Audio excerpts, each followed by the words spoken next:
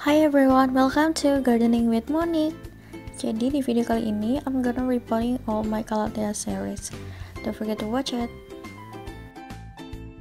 Sedikit cerita, jadi aku beli Calathea yang ini itu di Shopee. Harganya kurang lebih sekitar 15-an. Nanti aku bakal taruh nama all shopnya juga di description box. Pas datang emang dia tuh cuma ada tiga daun gini. Udah gitu pinggir-pinggirnya tuh agak kering gitu loh ya semoga aja setelah aku pindahin ke pot dia bisa tumbuh lebih subur lagi. Untuk kalatea yang kedua ini aku juga beli di shopee. Terus ini lumayan seger sih waktu udah sampai di rumah. Terus daunnya tuh juga lucu karena warnanya tuh silver terus di belakang daunnya tuh warnanya ungu. Semoga tanaman ini juga bisa tumbuh subur di taman aku Nah untuk Calathea yang ini aku juga masih beli di Shopee. Dia tuh Calathea Black Lipstick namanya. Sayang banget ini tuh daunnya kayak gini, lemes gitu ya. Padahal sebenarnya cantik banget dia motif daunnya.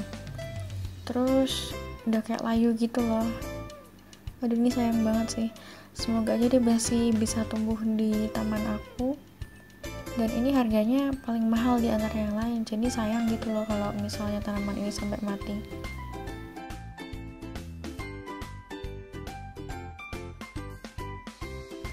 Kalatea yang ini aku juga masih beli di Shopee. Jadi untuk Kalatea yang ini dia tuh ada stripesnya gitu. Ada yang warnanya putih sama yang warnanya pink. Itu ada di dalam satu pohon. Nah karena ini bisa di apa ya dibagi dua akhirnya aku ngebagi satu tanaman ini ke dalam dua pot supaya dia bisa berkembang. Gitu.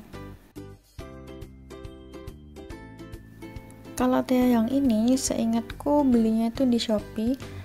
Dia nggak tahu ya ini ada bunga atau apa aku nggak paham. Akarnya dia juga udah banyak uh, itu tandanya dia sehat ya kan. Terus ini hitungannya masih segar sih. Dari Jawa Barat ke Semarang. Next Kalatea ini aku belinya di DR Sukulen. Nanti aku taruh linknya di description box juga. Karena tanaman ini tuh bisa dibilang kalau di satu pot itu rimbun akhirnya aku mau membagi dia menjadi dua karena emang udah bisa untuk dibagi dua gitu supaya bisa banyak kalateanya kalatea yang ini aku juga beli di plant shop yang sama dengan video yang sebelumnya. Nah ini ada tunasnya kebetulan ya. Jadi semoga dia bisa beranak pinak nantinya kalau udah aku pindahin ke dalam pot. Ini tuh agak lucu ya soalnya batangnya dia tuh tinggi-tinggi gitu terus daunnya lebar gitu Kalatea yang ini merupakan salah satu kalatea favorit aku. Soalnya warna hijaunya tuh bagus terus ada bintik-bintiknya gitu. Ya aku suka banget sama yang ini. Dan kebetulan ini tuh bisa dibagi jadi dua pot. Dan sampai sekarang setelah kurang lebih satu bulan aku beli ini masih tumbuh subur di taman aku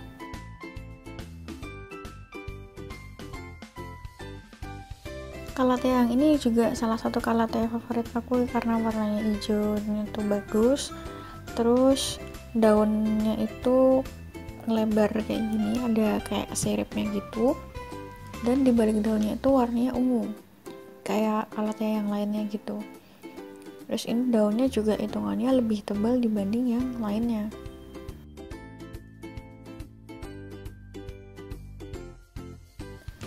Nah kalatea yang ini dia unik banget sih karena dia ada tiga warna yaitu warna hijau terus putih sama ada warna ungu-ungunya gitu ungu keping gitu loh warnanya. Dan ini sering disebut Calathea tricolor ini juga salah satu favorit aku sih.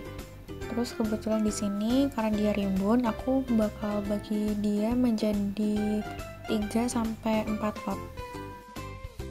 Untuk Calathea yang ini aku tuh lupa belinya di Shopee atau di plant shop gitu.